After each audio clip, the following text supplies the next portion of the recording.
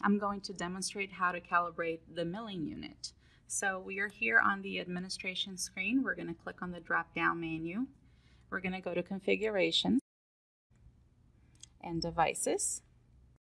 And we're going to select our milling unit. And down at the bottom, we're going to hit Calibrate. What the computer is telling us to do is that we need to insert the calibration pins and insert the calibration body and then proceed with start.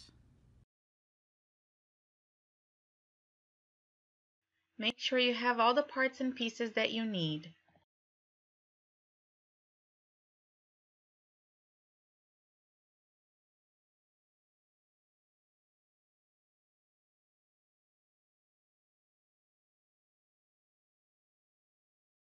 First thing we need to do is to remove our current burrs.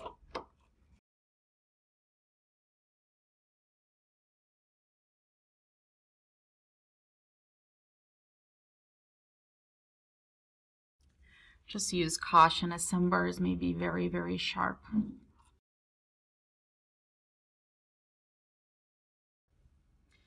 So we're going to insert our calibration pins. They are interchangeable. You're going to insert them and lightly tighten with your fingers.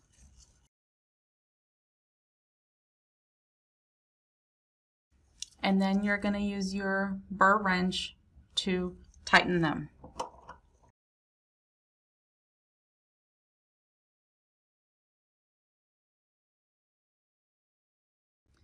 We are then going to insert our calibration body, also known as calibration phantom.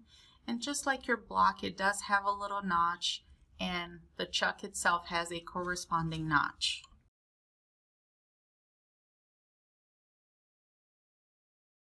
And then with your driver, you're just going to make sure that it's nice and tight. With the black handle driver, you do have to tighten until you hear that click and we're going to press start. And it takes about 15 minutes for the motor to calibrate.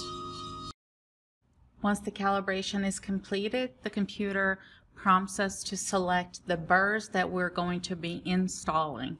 So we're going to select the step burr 12S, which is compatible with the cylinder pointed burr 12S and we walk up to the machine and we remove the calibration pins, remove the calibration body, and we're going to install those burrs.